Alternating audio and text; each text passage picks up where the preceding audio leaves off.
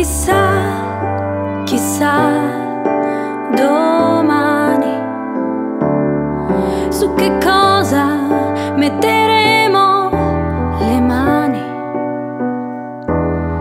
Se si potrà contare ancora le onde del mare e alzare la testa, non essere così seria.